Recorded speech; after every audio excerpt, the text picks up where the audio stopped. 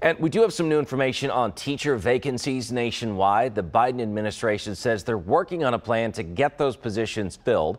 News Channel 5's Cole Johnson's covering this live from MNPS headquarters for us this morning. And Cole, we're certainly not strangers here in Middle Tennessee and Southern Kentucky to these teacher shortages.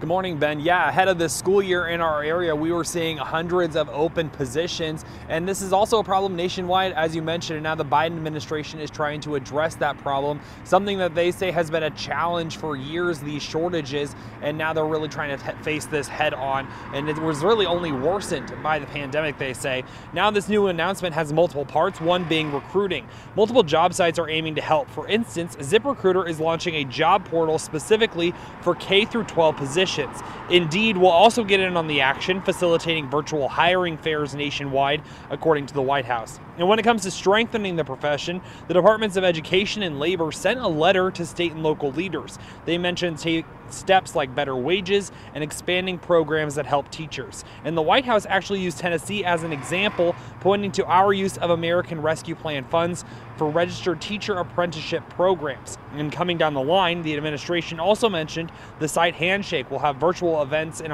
in a virtual event in October that will show college students different jobs in education.